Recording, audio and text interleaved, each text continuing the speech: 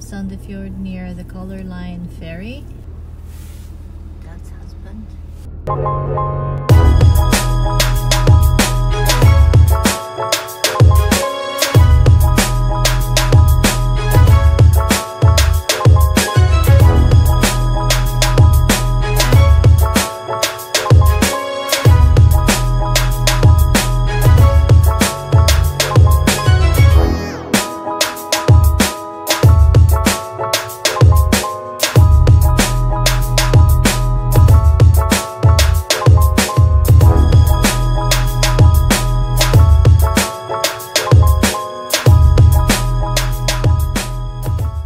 This is the place if you want to go to Sweden and there's a ferry over here and this is the hybrid ferry of Color Line.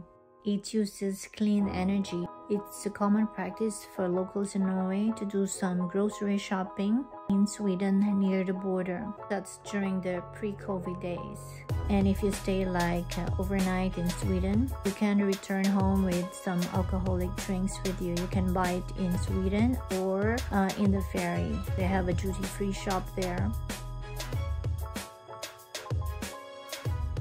All departures between Sweden and Norway are cancelled until February 18 or until further notice.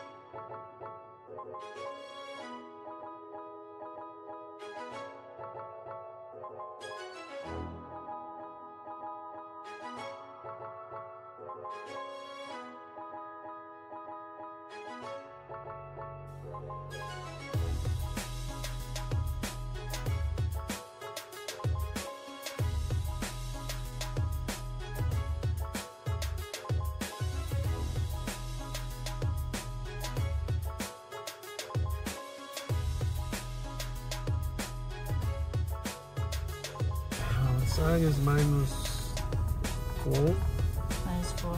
it's very cold.